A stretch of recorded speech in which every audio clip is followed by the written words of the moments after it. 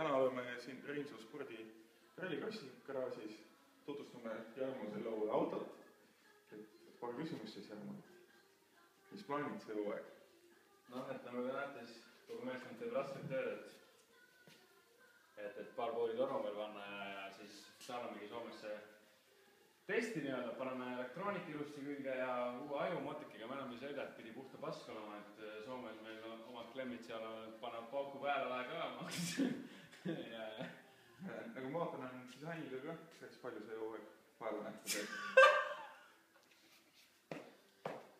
täna külastame Reinsalu spordi rallikrossi tiimi ja tutvume sõitja Jarmo Õsar ja tema selle hooaja uue autoga.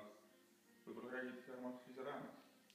tervist, et äh, jah, et tegemist on Ford Fiesta MK7 supercar ja, ja, ja nagu me näha võime, siis kohe-kohe oleme valmis omale